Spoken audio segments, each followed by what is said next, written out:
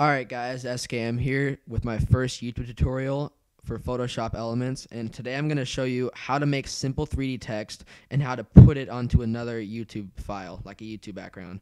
So first you're going to want to open your text file for a PSD. I'm just going to open a free YouTube template that I got on YouTube. I'll post a link if I can find one. so when it opens, if you want to put it into another file like a background, you're going to have to delete the backgrounds like you see I'm doing. Because if you don't do this, like the backgrounds will show up on the actual YouTube background too, and it'll look really disgusting. So once you see the pixels, you know it's transparent. I'm just gonna delete one of the text layers here.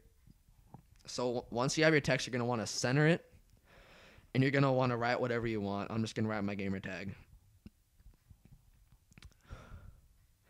And keep in mind that you want to have it centered the best you can. okay. So once you have it centered, you're to want to select it with the selection tool on the actual text layer or else it will not work.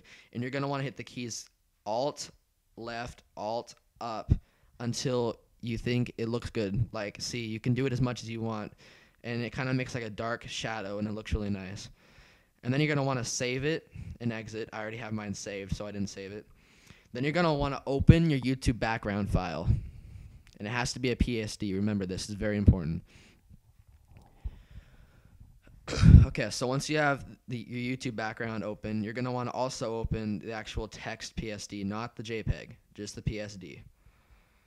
And you're to want to minimize both of them so that they're all they're all into one screen as you can see. And then you're to want to select the text layer and drag it into the other picture. And as you can see now, it's in your YouTube background and it's fully editable. I found this really helpful, and I'm really thankful that I found a tutorial on this on YouTube, and I wanted to share mine with you guys. So I hope you liked it. If you want more tutorials, please leave a like and leave a comment. Thanks, guys. Hope it helped. SKM out.